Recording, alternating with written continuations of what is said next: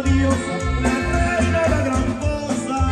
pero que sigue tan digna será siempre una belleza de cantina